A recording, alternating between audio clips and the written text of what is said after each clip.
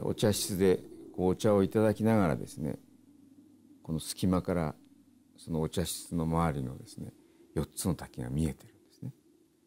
で実際にはそのお茶室そのものはあのコンクリートの箱の中に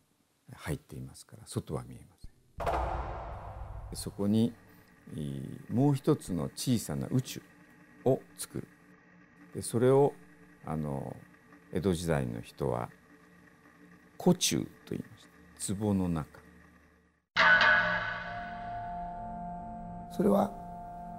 建物に入る前に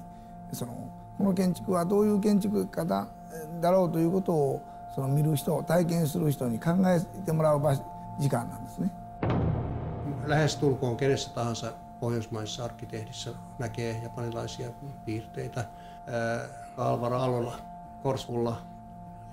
myös Gunnar Asplundilla.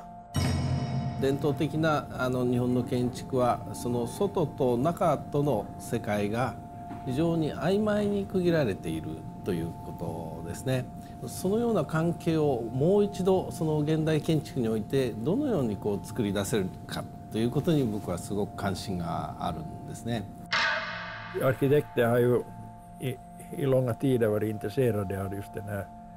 den här japanska träbyggnadstraditionen för att den sitter bra i, i den moderna estetiken som gärna uttrycker sig med enkla medel. ここではこの皆さんがもうすでに、えー、見られたような雑然としたこの東京のこの一角で雑然としたというのは悪い意味として取ってはいなくて非常にエキサイティングな風景として私は考えていますが。Fleksibiliteten i japanske hus var jo veldig spennende, for